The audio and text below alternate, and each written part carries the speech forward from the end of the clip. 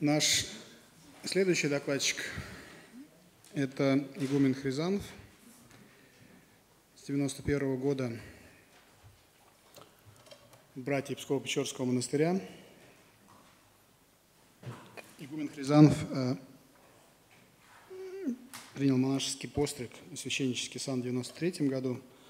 С 2000 года до сегодня выполняет послушание катехизатора, занимаясь педагогической работой с детьми в муниципальных государственных образовательных учреждениях. Мне кажется, тема, на которую сейчас Гумен Хризан будет рассуждать, о чувстве вины, покаяния, очень важная тема в педагогическом процессе. Спасибо.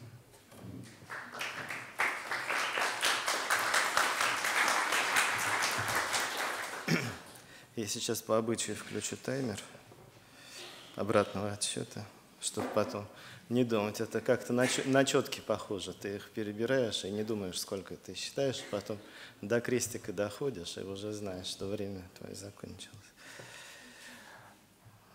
А, ну, дорогие Господи отцы, госпожа Левика, э, все организаторы и участники э, настоящей конференции – я очень э, рад кого-то видеть повторно э, в этом зале, э, ну и всех вместе также одинаково рад видеть. И будучи участником прошлой конференции, я готов свидетельствовать, что атмосфера единомыслия и христианского взаимопонимания – она за эти два года нисколько не изменилась и сохраняется здесь одновременно удивительным и естественным образом. Это, это очень приятно. И также э, не могу не сказать два слова о э, предыдущих докладчиках, что это было э, очень приятно их слушать. И э, удовольствие от такого взаимопонимания, оно почти, вот, почти эстетическое такое. Вот. Каким образом это происходит? Ну, наверное, так вот решается задача нашего общения. Э, и то, что я забыл сделать на прошлой конференции, и то, что я себе отложил в память, я рад выполнить это. Я хочу сказать, ну, возможно, от всех участников слова благодарности нашим переводчикам, которые так много трудятся, стараются и качественно выполняют свою работу. И я надеюсь, что они это переводят все сейчас. Пожалуйста, тоже поприветствуем. Да, спасибо им огромное за возможность э, нам друг друга понимать. Ну, теперь что по теме. Э, во-первых, я э, должен э, извиниться за то, что не дал ошибочную редакцию названия своей темы – и в программке, э, которая есть у каждого из нас, записано э, так э, «чувство вины и покаяния в свете евангельской истины». И эту ошибку, эту невольную ошибку я обнаружил достаточно поздно, уже после того, как эти программки были напечатаны. Я хотел бы уточнить, что мы будем говорить о покаянии не как о чувстве, а как о состоянии. То есть правильное звучание – это чувство вины и покаяние в свете евангельской истины. Э, современное общество, которое э, в большинстве своем, к сожалению, читает недостаточно много книг, очень часто совмещает понятие вины и чувство вины – Э, большинство наших соотечественников, э, где бы мы, так сказать, не проживали, считают, что эти понятия об одном и том же говорят нам и учат одному и тому же. На самом деле это совсем не так. И э, вообще вина означает сам по себе проступок, за который человек, э, соответственно, несет ответственность. Сделал нечто, ты отвечаешь. А чувство вины – это такое состояние, когда человек дум, только думает, что он виновен. Он только представляет себе, что он виновен. Хотя очевидной его вины совершенно может и не быть.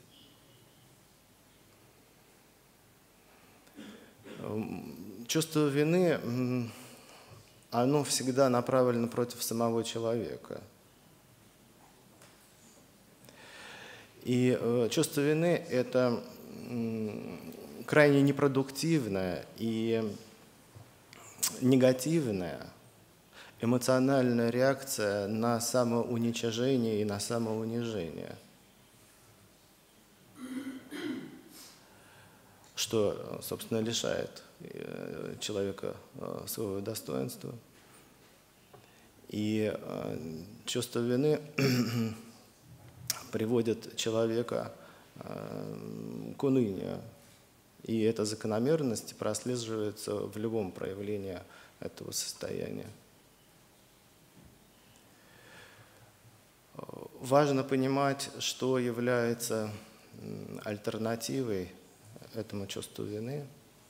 Альтернативой чувству вины э, является ответственность. Ответственность – это искреннее и добровольное понимание необходимости заботы о себе и о ближнем. И поступки в этом понимании. То есть тогда, когда чувство вины сокрушает человека и, как мы вчера говорили в школе, заставляет его опускать руки, тогда а, а, в другом случае ответственность, даже после проступка, и мы это подчеркиваем, даже после проступка э, дает человеку силы к движению, причем к движению к себе лучшему и к ближнему.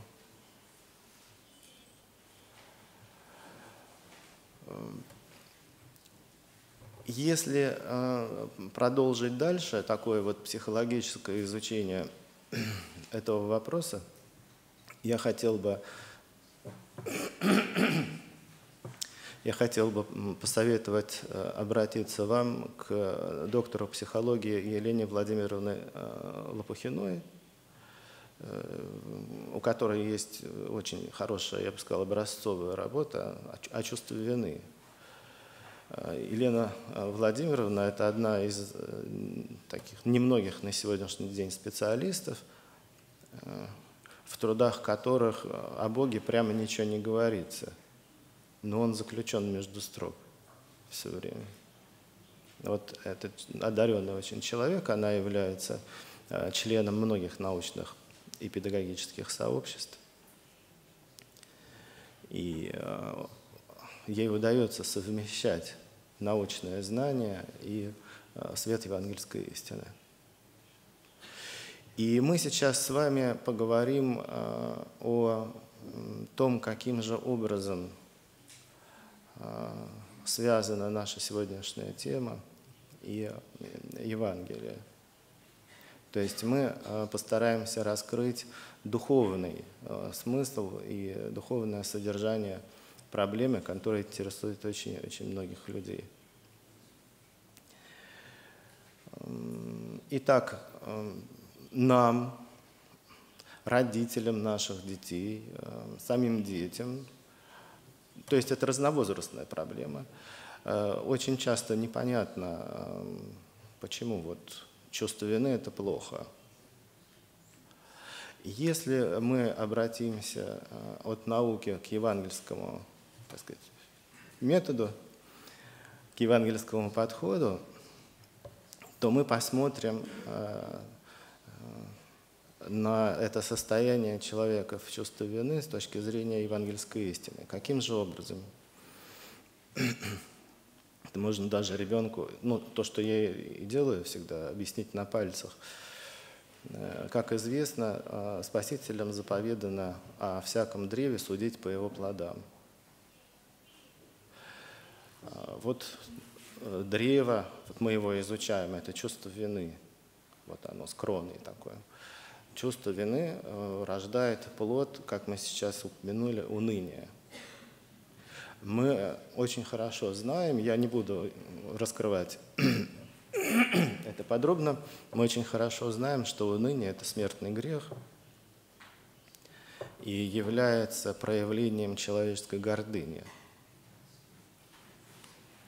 И если плоды древа чувства вины являются грехом уныния, значит, само по себе это древо тоже греховно.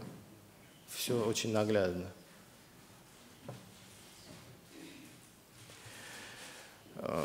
Очень важно сказать, какова же духовная альтернатива. Угу. Половина времени прошло, очень хорошо. Э, десять минут, да.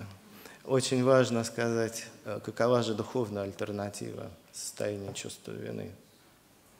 Обращаясь к аскетике, ну вообще аскетика – это наука о способах исполнения Божьих заповедей, если что. То есть это дисциплина, это не только к монахам относится, но только лишь потому, что Божьи заповеди даны, когда монашество еще не существовало, они даны всем. И каждый христианин э, в свою естественную меру является аскетом, это понятно. Так вот, с точки зрения аскетики мы знаем, что э, существует взаимоотношение между пороком и добродетелью. То есть добродетель, определенный добродетель побеждает совершенно определенный порог. И совершенно определенный порог маскируется под ту же определенную добродетель. Задачу решения рассуждения, что есть что, нам очень сильно облегчает дьявол – дело в том, что он не обладает творческим потенциалом, и дьявол всегда поступает по шаблону. В этом он всегда проявляется.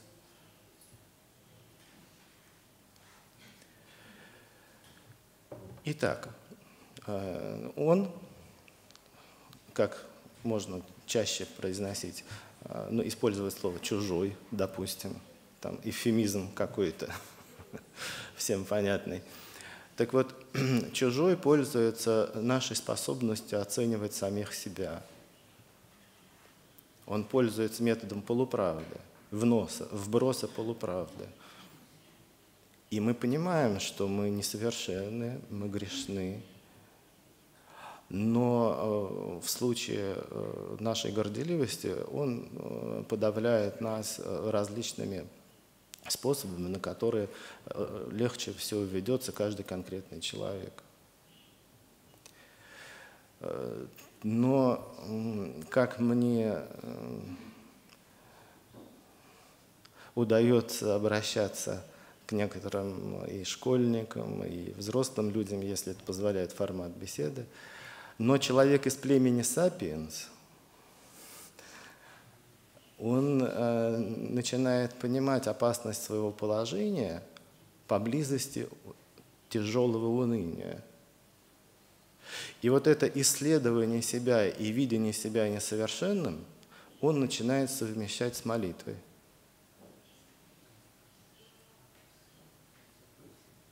И такое совмещение называется добродетелью самоукорения – и по своим плодам это добродетель самоукорения, исследование себя и покаянная молитва рождает надежду. Вот а, благодаря чему мы можем хорошо различать и эти состояния чувства вины и самоукорения, за которым следует покаяние такое целостное, и а, управлять своими мыслями, желаниями и поступками. Хочется сказать, хочется сказать следующее еще. То есть вот по этой, по этой теме вы можете потом задать вопросы, я специально не буду сейчас вот останавливаться по этому отрезку. Эм, возникает очень важный вопрос, насущный. А почему люди, которые все вот это знают, мы говорим с вами о совершенно очевидных вещах, почему все, эти, все люди э, в той или иной степени подвержены этому чувству вины? Как так происходит? Этот вопрос, он совершенно закономерный. Особенно человеку, который чувствует свою ответственность э, за всех в своей молитве. Когда он произносит местоимение «мы». Насколько может он это вместить? Почему? Дело в том, что э, чувство вины э, человек употребляет для того, чтобы скрыть свою беспомощность.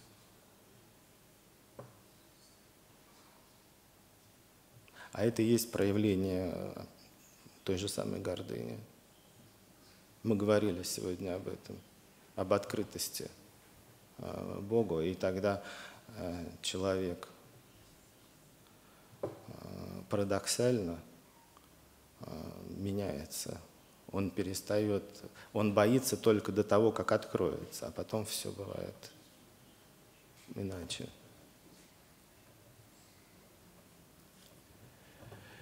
И мне хочется э, при этом задать совершенно не риторический вопрос, но его просто необходимо задать. Когда же то есть если мы ищем корневые причины волнующих нас процессов, мы должны спросить самих себя, а, а когда же все это началось? Когда чувство вины а, проявилось ярко, настолько ярко и заразительно, что до сих пор мы от этого страдаем.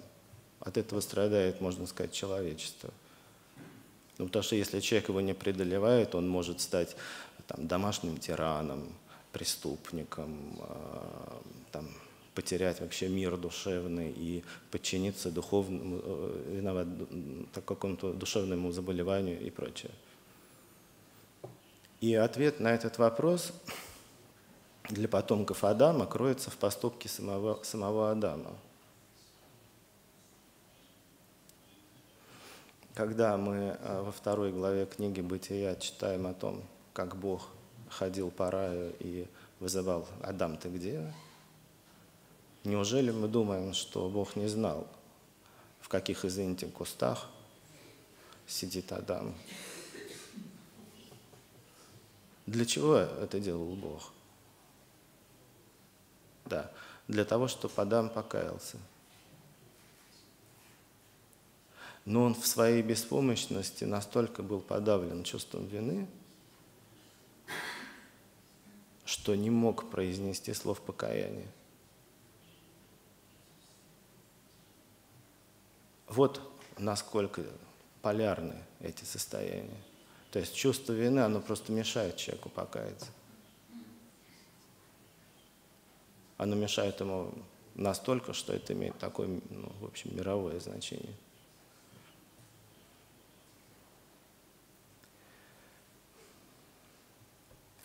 Ну, это говорит о том, насколько нам серьезно можно к этому отнестись. Существует... А, ну, я хотел бы поблагодарить отца Павла, который э, в своей речи э, привел два совершенно блестящих примера,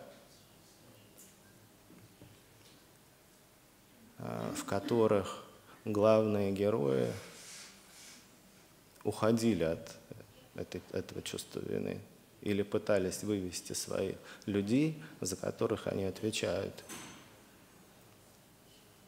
Если говорить нашим сегодняшним языком, то папа э, будущего преподобного Силуана, не сказал ему в самый момент его вот этого проступка, только для того, чтобы, что значит не смутить тебя, чтобы не погрузить тебя в чувство вины, а выждал нужный момент, и все бы стало хорошо. Таким образом, опять же говоря нашим сегодняшним профессиональным языком, папа э, будущего э, значит, Силуана, что он сделал? Он создал педагогическую ситуацию и сформировал личный опыт добра у своего сына. Вот этим методом я вас, дорогие коллеги, эм, прошу пользоваться в основе своего отношения. Вот. Формирование педагогических ситуаций для создания личного опыта добра. Ну и то же самое, хотя здесь от противного, в общем-то, получилось. Так, 20 минут прошло. И еще, сейчас мы 5, 7 минут, 6 минут поставим. И э, случай в монастыре в этом э, далеком, э, то же самое. Ну, мало того, что этот монах, который пришел жаловаться, он в страсти своей нарушил все, что, все, все то, что можно было нарушить в монастырской жизни, мы сейчас конкретно не будем этого разбирать.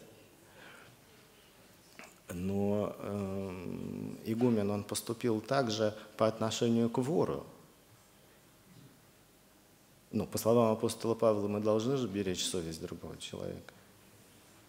И э, потом бы он разобрался с ним, Бог бы с ним как-то разобрался, знамение какое-то было. Там. К примеру, мы об этом можем только так э, гадать и предполагать. Но главное то, что э, остановив вот этого ревностного не по человека, э, настоятель э, не отяготил чувством вины э, преступника. Теперь, почему же мы об этом говорим, ну, о евангельском подходе, ну, нужно знать материал – то есть каждый раз, э, общаясь э, с педагогической аудиторией э, любого уровня, я напоминаю о том, что Священное Писание Нового Завета и особенно Евангелие важно читать как книгу, как учебник по педагогике.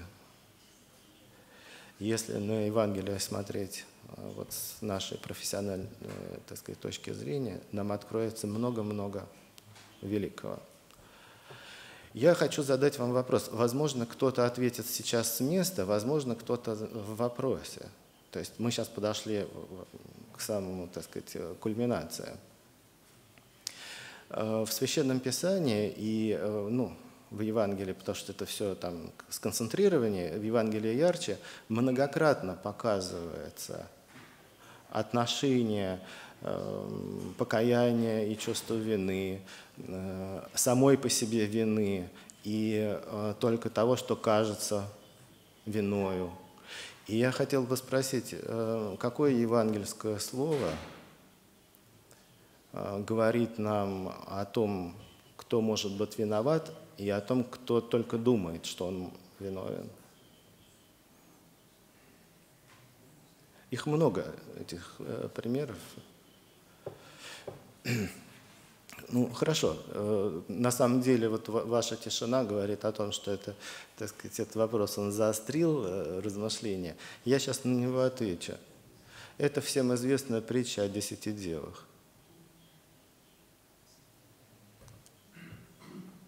Да, дайте нам от елея вашего, яко светильница наша угасает. От вещаши же мудрые реши, и да как не достанет нам и вам.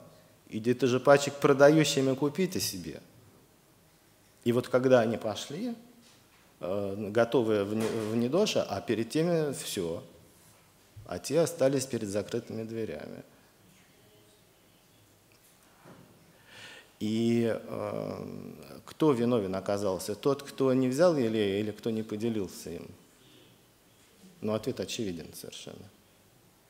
И э, эта притча, она построена таким образом, что э, вот опять же в контексте э, вот нашего акцента, э, притча э, изложена таким образом, что дает нам видеть, что эти девы не испытывали чувство вины за то, что они не поделились елеем, и при этом чувствовали себя... То есть они были праведными.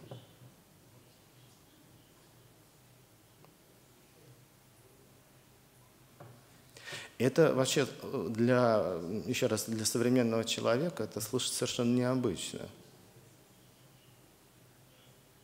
Но это тот смысл, который э, извлекается из этой и других евангельских притч достаточно легко. Ну, я приведу другой пример, который лежит на поверхности. Это когда э, раб, трудившийся на поле, э, приходит домой и он сначала служит господину после труда на поле, а потом отдыхает. Но ничего, и господин чувствует себя тоже очень неплохо, это нормально. Он не испытывает чувство вины за то, что уставший раб ему служит.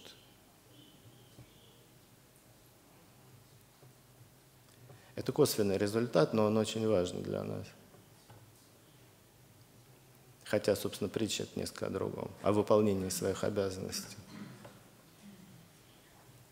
Но э, это, для нас это интересно тем, что... Угу, хорошо. Для нас это интересно тем, что родители могут правильно выстраивать свое отношение к воспитуемым детям, ну или педагоги, развивая в них добро, а не формируя чувство вины. Дело в том, что сегодня чувство вины является формирование и использование чувства вины является способом манипуляции. Дело в том, что э, неразумные родители, они пытаются создать э, невольно или вольно, пытаются создать механизм внутреннего регулирования поступков, мотивации поступков ребенка. А Угу, спасибо. А э, если же э, это делает начальник, у нас же сейчас все люди образованные, начальствующие, э, и они, это и в церкви бывает, эта церковная проблема очень велика, когда э, управление или влияние э, э, над там, священнослужителем или над посомом вот неквалифицированные, так сказать, пастыри делают такую ошибку, они развивают чувство вины, потом пользуются беспомощностью и управляемостью такого человека, но это миф церковный, это не церковь, это то, как раз о чем говорил отец Павел тоже. Но это совершенно не церковное отношение, не приближающее человека к Богу. То есть религиозные задачи связи человека с Творцом не, не решаются таким образом. Но а, вот мы кратко а, коснулись а, такой вот важной проблемы. Вот, я постарался, я надеюсь, что у меня получилось э, заинтересовать вас, поразмышлять в этом направлении. Э, я надеюсь, что вот говоря об Адаме, мы понимаем, насколько это многоплановая, многоуровневая а, проблема, но она является задачей педагогического решения, педагогических способов решения, и даже классическая педагогика способна, а, она вооружает э, мудрого учителя и родителя к правильному воспитанию. Не ломать ребенка, не погружать его в это. Потому что я позволю, позволю себе привести пример из э, духовнической практики, потому что она на сегодняшний день уже значительно. Мне странно это говорить, но это так. И иногда приходят дети, дети и вообще люди разного возраста, у которых э, даже изменена фигура. То есть антропологически если не было прямых травм, то вот согбенность в районе седьмого позвонка, она означает о, о том, что человек уже продолжительное время находится под давлением чувства вины. А еще у детей вот бывают такие вот движения немотивированные, и, так сказать, вот приходится держать руки просто во время исповеди, и э, ребенок иногда даже начинает вырываться, но я не слушаюсь его, То есть это не насилие, это то, что позволяет ситуация. И вот здесь иногда получается идти от э, противного, то есть когда ребенок приучается контролировать свои движения на, я на правительстве говорю, и, э, так сказать, ставить ровно спиной, у него начинается другое осмысление себя. Я эту связь заметил, это, это практически такой опыт, которым э, я могу поделиться. Пожалуйста, я так пафосно не буду завершать как-то. Вот если есть вопросы, возможно, они поставят какую-то точку в нашем сегодняшнем общении. Да, вот батюшка. Отец Хрисанов, священник Андрей. Да, я... А позвольте вот немножко другую модель предложить э, вот этому чувству вины, и, может быть, вы прокомментируете его как-то. Э, дело в том, что вот если мы говорим о том, что э, любой грех наносит рану душе, да, то вот э, если проводить эту параллель раны тела э, с раной души, да, то вот если нанесена рана телу, то боль – это естественная реакция на эту рану. Да? Рефлекторная реакция. Да, совершенно верно, да, рефлекторная реакция. Если попытаться теперь эту боль заглушать какими-то болеутоляющими средствами, то ни к чему хорошему это не приведет. Боль она должна оставаться, потому что она дает возможность помнить. Понятие том, болезни, да. Да, о болезни, да. Так вот, когда мы говорим о чувстве вины, то это, в общем-то, боль души. Боль души, как естественная реакция на тот грех, который я совершил. И вот отсюда теперь есть отправная точка, как мне кажется. То есть, либо я соглашаюсь с этим, принимаю, и тогда дальше идет покаяние – и это может исцелять мою душу. Либо я с этим не соглашаюсь, и вот тогда, тогда вот это чувство вины может оказаться вот тем самым состоянием, о котором говорите вы. Но э, чувство вины само по себе неплохо, точно так же, как неплоха боль, которая появляется после ранения. Оно должно привести меня вот к желанию лечиться. Да, я услышал, да. да. да. Но то, о чем говорит батюшка, это вопрос терминологии на самом деле. Вот. И э, я, э, ну, ну, я должен сказать о том, что у чувства вины именно вот, э, содержание, состояние чувства вины раскрывается именно таким образом в современной науке, которая называется психология. И причем, ну, трудно говорить. Вот э, Борис Сергеевич Братус, замечательный, так сказать, э, там, ну, без фамилий, э, просто их кто-то может не знать, но ведущие психологи, люди совершенной такой порядочной христианской жизни, они избегают понятия христианская психология. Он говорит, психология это просто вообще. Вот. Но то, только есть люди, которые пытаются манипулировать какими-то вещами. Так вот, э, дело в том, что э, те, сам по себе термин э, чувство вины, он как раз э, говорит о деструктивном таком вот влиянии на э, душу человека, э, который разрушает. То есть э, этот термин, еще раз, он говорит о, э, саморазруш... о состоянии саморазрушения. И э, тогда, когда мы разбирали вот, добродетель самоукорения, вот этот самоанализ, контроль по совести и по ответственности, вот это то, о чем говорит отец Андрей. То есть мы, мы не избегаем э, вот, этого, вот, вот этой боли, э, напоминания о своем грехе. Вовсе нет. Дело в том, что вот э, существует еще такой духовный механизм. Э, человек, он совершил э, некий порог, тяжкий грех, или да, он в состоянии порока находится, привычного греха. И он испытывает нужду исповедоваться в нем каждый раз, когда он приходит к кресту Евангелия. Но однажды эта нужда проходит, а память о грехе остается. И вот это та боль, которая, тот рубец, который действительно он никуда не уходит, и он должен быть, слава Богу, за то, что он есть. Но э, вот этот мир, умиротворенность при памяти о содеянном говорит о том, что покаяние человека принято и грех прощен. Но я бы хотел вот при оставшейся боли, ведь что-то из нашего сердца не уходит, и мы не можем этого отпустить. Опять же, вот милость Божия э, в этом может заключаться. Хотя бы ограждаемся мы от повторов таких. Но я бы хотел, вот как, ну, обращаясь к, педагогическому сообществу, я бы хотел все-таки не выходить из терминологии, потому что это, это категория такая, чувство вины, и чтобы нам не путаться. Вот, несмотря на справедливое да, замечание батюшки насчет, еще раз, боли, вот, чтобы не путаться, да, чувство вины – это как раз категория а, такого человеческого саморазрушения. Это общепринятое.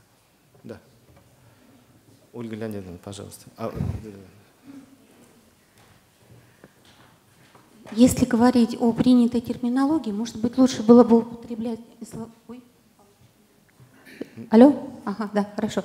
Может быть, лучше было бы употреблять не словосочетание чувство вины, а вот эм, есть такое слово, словосочетание комплекс вины. Вот когда говорят о манипулировании, то там обычно употребляют именно это. И вот как раз вот то, то, о чем вы говорите, это скорее комплекс вины. Да, совершенно угу. верно, да. Это, ну, Ольга Леонидовна, она так нас академически подправляет, да, совершенно верно. А, вот э, даже есть более расхожее выражение, которое нам известно там, с детства кому-то известно, комплекс неполноценности. Да? Это вот как раз вот этот комплекс вины. Совершенно верно, да. И вот еще, еще я хотела спросить, а, можно ли связать вот этот комплекс вины и чувство покаяния а, с вопросом свободы, потому что вот комплекс вины, он обязательно связан с извне. То есть вот мы говорим, если мы хотим, так сказать, управлять кем-то, мы прививаем ему комплекс вины. Ты виноват, ты сделал то-то. И тогда вот человек не свободен, он страдает, и действительно он не может, как вы совершенно справедливо заметили, покаяться. А вот покаяние, оно может быть в первую очередь только свободным. То есть тут ты сам осознал и ты покаялся. И вот действительно пример отца Павла вот с этим монахом, которому не стали прививать комплекс ах, ты такой секой, и тогда бы он, вот как вы говорите, с уязвленной гордостью ушел бы и, э, так сказать, действительно чувствовал бы этот комплекс вины, но не покаялся бы. А вот ему, наоборот, э, сделали добро. И Создали педагогическую ситуацию, да. Но, опять же, это вопрос э, такой вот, э, ну, ну, как терминология, что ли. Потому что э,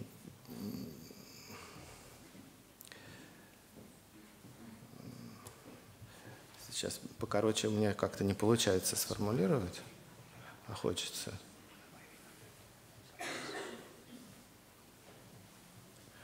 Ольга Леонидовна, еще раз повторите вопрос. А, все, все, все. Дело в том, что дело в том, что вот случай, понимаете, это частный педагогический такой случай, просто когда а, человек э, задавлен чувством вины извне. Дело в том, что чувство вины мешает покаянию в принципе. То есть откуда бы оно ни рождалось, изнутри или извне, оно мешает человеку а, покаяться как антитеза, понимаете, как, вот, как полярность какая-то, как Антарктида. Вот. Но что касается э, вот этого э, приема, то вы знаете, человек, э, особенно живущий, особенно живущий в монастыре, он более свободен. Вот э, отец Эндрю сейчас вышел, но я хотел бы его поддержать в чем, что монашество, монашество – это самая радикальная форма социального протеста – И э, свободнее монашествующих я людей не видел. Это, ну, опять же, вот, это опыт, это цифры. Как ни странно, мне, это как не, мне очень непривычно это говорить. Вот. И э, в монастыре человек э, свободен абсолютно настолько, что, будучи подавленным чем-то, он самим укладом, то есть одухотворенным бытом повседневной монастырской жизни, дисциплины аркана, там как хотите, все, всем этим он э, направляется к покаянию. Но здесь уже 50 на 50, это очень рискованно. То есть человек, который допускает э, вот это создание такого сильного внутреннего конфликта в своем воспитуемом, он сильно рискует, конечно. Вот. То есть может быть покаяние, а может и не быть. Но еще раз скажу, э, свободе человека это не, мешает. Он может. Нет, ну я про себя могу сказать. Ведь когда мы говорим о том, что в церкви есть проблема манипулирования, так сказать, чувства вины, ну, э, я как-то вывернулся тоже. Вот, то есть это не, это не библейское хамство, то есть я ничего не хочу сказать, так сказать, против там, от, отцов, отцов там, и так далее. Но ничего личного. Но были такие ситуации, и все можно, все можно. Пожалуйста, какие-то вопросы еще. Просто коротенький совсем комментарий. Э, мне кажется, самая главная проблема в чувстве вины заключается в том, что когда ребенок его испытывает – после совершения, он начинает думать, я плохой. Да. Я плохой. А это вовсе не значит, что он плохой. Ему надо объяснить, что он хороший. Но он просто споткнулся. Встань иди дальше. А, разрешите, э, дорогой отец Павел, я вам очень благодарен за это замечание. Да, это, ну, это замечание не только священнослужителя, но еще и многоопытного отца. Вот. Э, мне очень хочется э, сказать, раз Ирина, благодарю вас, вы позволили э, дать мне время. Э, мне очень хочется сказать э, или поделиться с вами одним из ключевых моментов работы с людьми любого возраста, которые этим чувством вины или комплексом вины подавлены.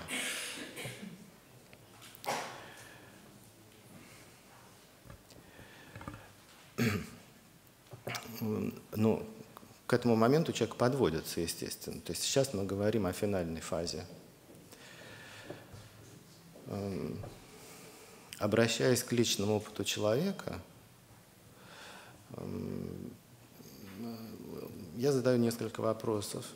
Например, эм, для чего Бог создал человека? Для добра или для зла? И э, опять же, всякий человек из племени Сапиенс, он соглашается с тем, что э, Бог создал человека для добра. И тогда следует очень короткий тезис о том, что если ты не грешишь, то ты во всем хорош. Ты это понимаешь?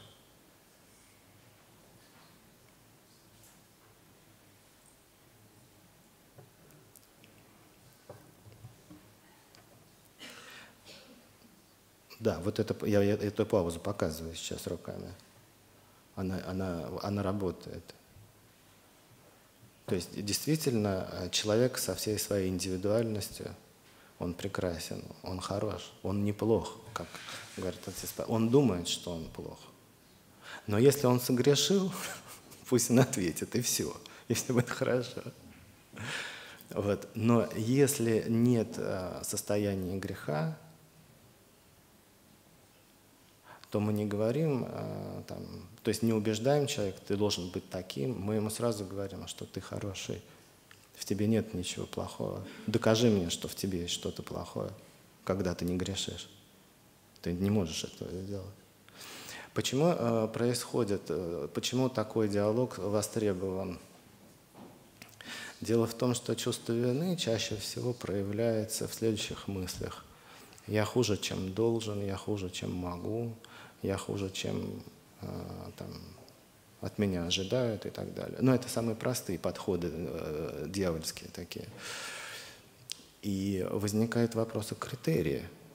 А кто э, сказал тебе об этом? Кто решает, что есть добро, что зло? Иван Иванович, Марья Сергеевна, там дядя Вася, дворник, э, я не знаю, кто там еще. Или все-таки мы обратимся к Евангелию. Ну, в конце всех концов, я сейчас сокращаю, естественно, это все.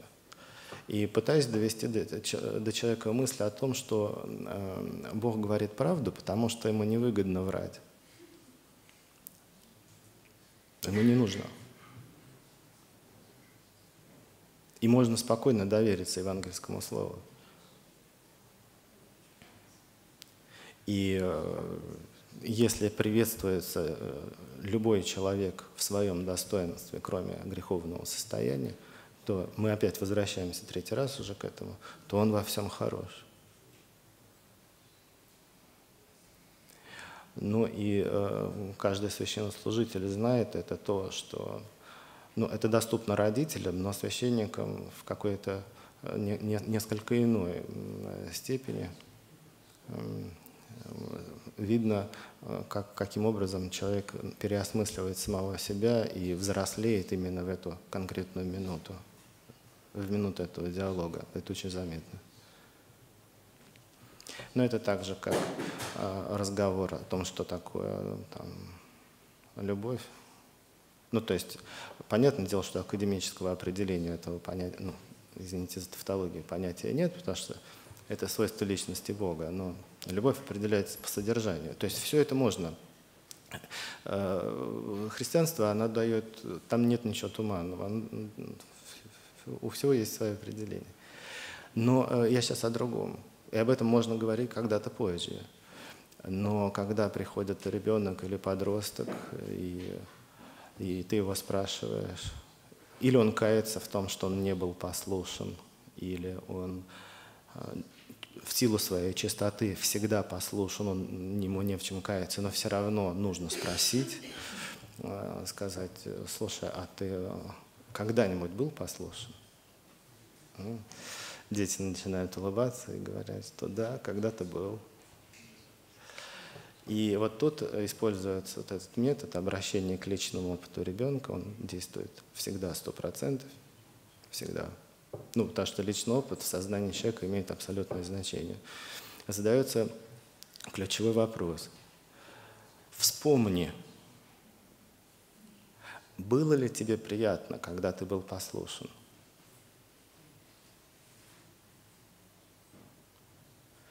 Вот здесь начинается совсем мыслительный процесс совсем другого качества. И когда ребенок наконец говорит «да», вот из великого множества случаев только два, э, девочка и мальчик, э, сказали «нет». Только двое, извините. Я просто сосчитать не могу, сколько сказали «да». И э, если ребенок осмыслен, я его прошу показать, а где тебе было приятно – и дети, я вас уверяю, совершенно различных возрастов, я статистики, естественно, никакой-то она не ведется, они все перед глазами стоят, они географически точно показывают вот это вот место. Вот пальцем сюда, вот здесь было там тепло, горячо, там приятно, вот, вот здесь. Дальше ну, вот не нужно уже объяснять, это вам понятно. И следующий ключевой вопрос, второй, после обращения к личному опыту ребенка – следует эм, э, «А хочешь, я открою тебе тайну, каким словом это, это приятно называется?» Но всякий ребенок хочет, чтобы ему тайну открыли. Да. Но это тоже, эти же вопросы, они все осмыслены. И я говорю, вот это приятно называется словом «любовь».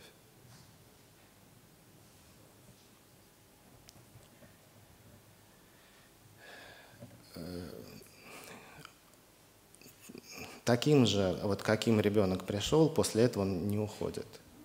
Он становится старше, потому что он понимает, что любовь прежде всего это поступок, и он может это сделать своими руками. Мы же говорим, мы же разбираем его поступок, его способность к поступку. И э, если, э, ну, возвращаясь к нашей основной теме, если при этом ребенок ошибается, подросток ошибается, там, взрослый человек ошибается, то э, вот это состояние э, поступка, направленного к ближнему, помогает ему не испытывать чувство вины, а просто исправиться. Ну, в чем-то понести ответственность там, через э, вот это вот там, боль, раскаяние, там, слезы, какую-то матери... материальную потерю, естественно. Но чувство вины при этом не возникает, потому что его влечет вот это вот наслаждение вот этим вот поступком, который называется любовь. Ну, так, такой развернутый, несколько пространный ответ, но я помню, что вот здесь еще хотели. Еще два вопроса у нас было. да. Да. А, Спасибо. Я- Возвращаясь все-таки. Секунду. Вы, вы, не, вы не заснули так? Это... Хорошо. А то тут. Да, пожалуйста. к той самой первой части беседы, да, где мы говорили про корни и плоды, когда у нас эм, чувство вины э, рождает э, плод его всегда уныние, э, и вы говорили про самоукорение, которое, плод которого был, напомните, пожалуйста, Надежда. вот. э, Является ли в данном случае самоукорение синоним чувства э, стыда? То есть можем ли мы говорить, что вина плохо, а стыд хорошо, и стыд как раз то же самое, то, то самое, что ведет э, дерзновение к надежде? Хорошо. Ну, э, спасибо вам за вопрос. Он такой вот э, тоже э, многоуровневый. И я сейчас постараюсь осветить тот уровень, который явно не прозвучал в вашем вопросе. Дело в том, что ну, я попрошу сейчас переводчиков осилить то, что тот новый термин, новое слово, которое я сейчас скажу. Но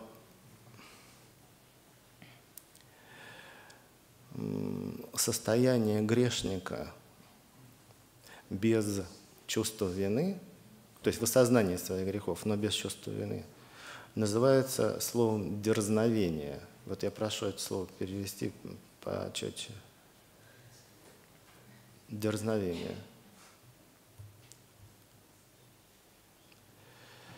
И эм, каким образом мы знаем это?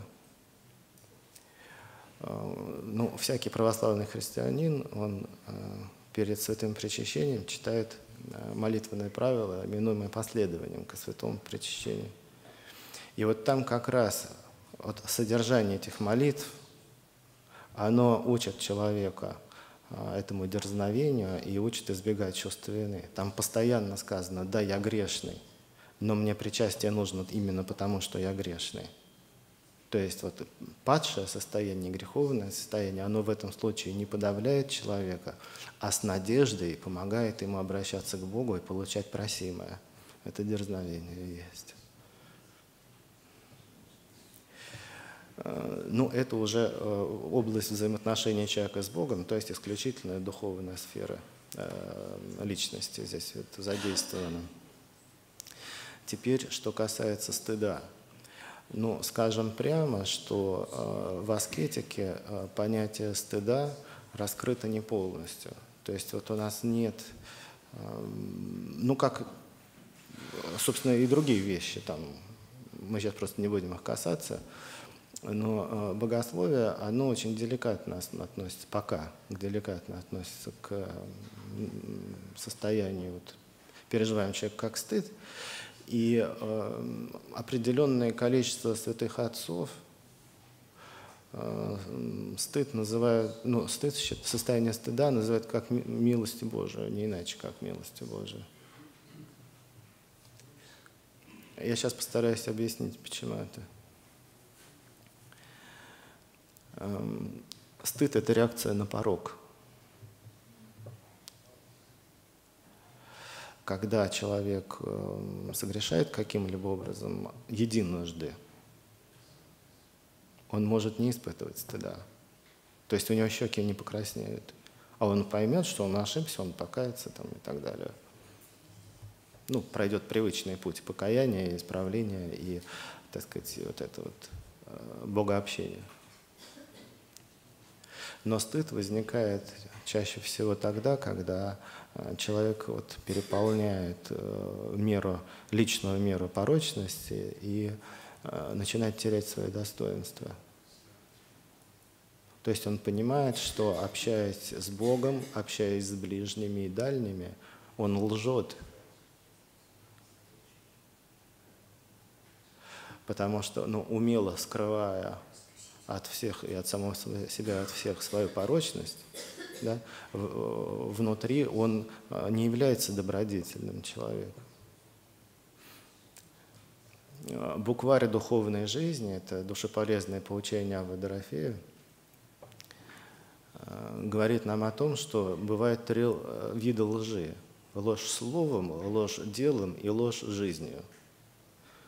И можно сказать, что стыд является реакцией э, человека, причем добродетельного человека. Мы говорим бесстыдный, когда он вообще уже там все, все в нем потеряно. И стыд является реакцией в целом добродетельного человека на ложь жизнью. То есть на такое сильное несоответствие внутреннего и внешнего своего. Я вполне ответил на ваш вопрос. Хорошо. Отец э, Фома сказал, что самый корректный перевод слова «дерзновение» на эстонский язык это будет «юргус». Да?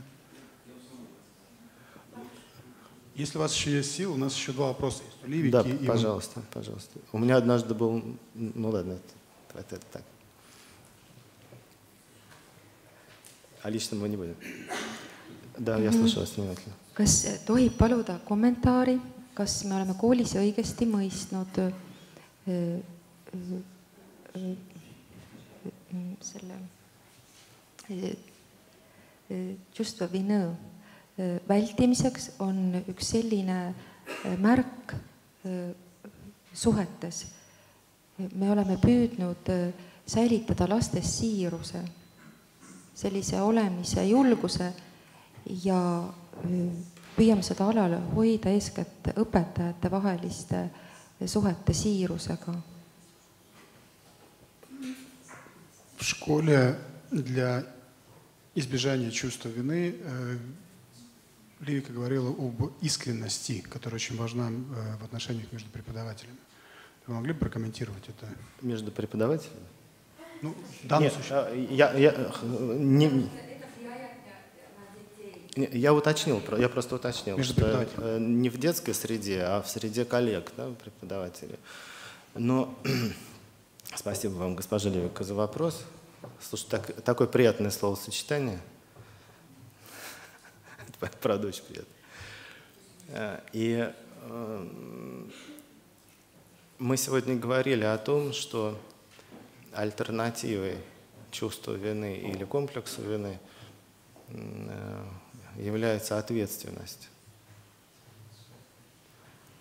То есть, еще раз, ответственность – это искреннее и добровольное признание необходимости служения или там поступков добродетельных по отношению к ближним, к самому себе и к ближним. И, э, естественно, искренность э, как компонент э, компонент образовательного процесса, я бы уточнил, педагогического процесса, потому что педагогика – это и образование, и воспитание, и так искренность как компонент педагогического процесса, возможно, имеет ключевое значение. Потому что, ну, исходя из сказанного, без искренности не будет ответственности.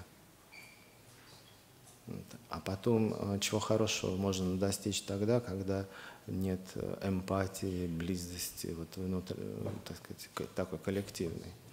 Причем э, я хочу заметить одну важную вещь, за которую сейчас, ну, если кто-то, по- извините, что я так скажу, не педагогично, но если кто-то поспешно захочет покри- покритиковать, то он действительно будет поспешен. Я хочу сказать следующую вещь, что человек может быть искренним всегда. Со всеми.